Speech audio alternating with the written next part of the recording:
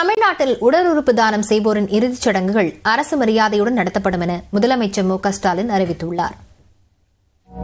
இரண்டாயிரத்தி எட்டாம் ஆண்டு பதினைந்து வயது இளைஞர் ஹிதேந்திரன் இருசக்கர வாகன விபத்தில் சிக்கி மூளைச்சாவடைந்தார். அவரின் இதயம் கண்கள் சிறுநீரகங்கள் நுரையீரல் கல்லீரல் ஆகியவை செப்டம்பர் இருபத்தி மூன்றாம் தேதி தானம் கொடுக்கப்பட்டன. ஹிதேந்திரனின் நினைவாக தமிழ்நாட்டில் செப்டம்பர் இருபத்தி மூன்றாம் தேதி உடல் உறுப்பு தான தினமாக கடைபிடிக்கப்படுகிறது.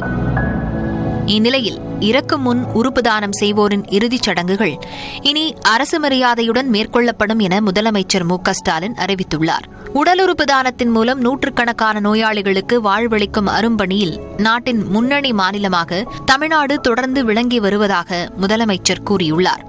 உறுப்பு தான தினத்தையொட்டி அமைச்சர் மா. சுப்பிரமணியன் தலைமையில் சென்னை கலைவாணர் அரங்கில் நடைபெற்ற நிகழ்ச்சியில் ஹிதேந்திரனின் பெற்றோர் மருத்துவர்கள் அசோகன் புஷ்பாஞ்சலி சிறப்பு அழைப்பாளராக பங்கேற்றனர். நிகழ்வில் பங்கேற்ற பின் செய்தியாளர்களை சந்தித்த அமைச்சர் மா. சுப்பிரமணியன் தமிழ்நாட்டில் உறுப்பு தானம் பெறப்படும் மையங்களின் எண்ணிக்கை அதிகரித்திருப்பதாக தெரிவித்தார். தமிழ்நாட்டை பொறுத்தவரை கடந்த ஆண்டு இரண்டாயிரத்தி இருபத்தி ரெண்டாம் ஆண்டு ஜூலை திங்கள் முப்பத்தி ஓராம் தேதி அதற்கு முன்னால் தமிழ்நாட்டில் ஒரு பதிமூன்று இடங்களில் மட்டும்தான் உறுப்பு தானம் பெறுவதற்குரிய உரிமத்தை பெற்றிருந்தார்கள் மருத்துவக் கல்லூரிகளை பொறுத்தவரை.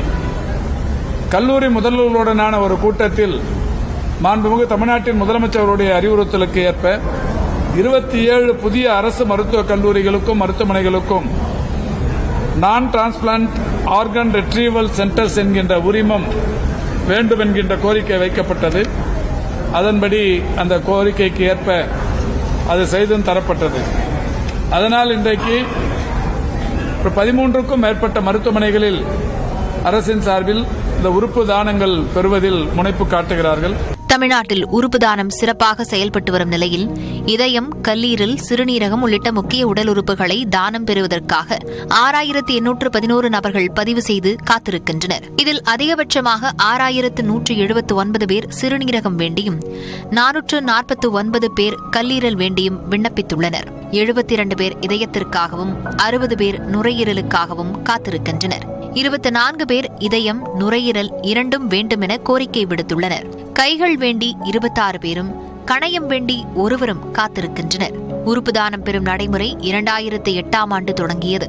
அப்போது முதல் இதயம் நுரையீரல் கல்லீரல் சிறுநீரகம் கணையம் என முக்கிய உறுப்புகள் தானம் பெறப்பட்டு பலர் மரணத்தின் விளிம்பிலிருந்து மீட்கப்பட்டுள்ளனர். கடந்த பதினைந்து ஆண்டுகளில் ஆயிரத்தி எழுநூற்று இருபத்தாறு உறுப்பு கொடையாளர்கள் மூலம் ஆறாயிரத்து முன்னூற்று இருபத்தேழு உறுப்புகள் பெறப்பட்டுள்ளன. கடந்த இரண்டரை ஆண்டில் மட்டும் முன்னூற்று பதிமூன்று கொடையாளர் மூலம் ஆயிரத்தி இருநூற்று நாற்பத்தி இரண்டு உறுப்புகள் தானமாக பெறப்பட்டு அறுநூற்று அறுபத்து மூன்று பேர் மறுவாழ்வு பெற்றுள்ளனர். உறுப்பு தானத்தில் தொடர்ந்து முதலிடத்திலிருந்து வந்த தமிழ்நாட்டை தற்போது தெலங்கானா பின்னுக்கு தள்ளியுள்ளது.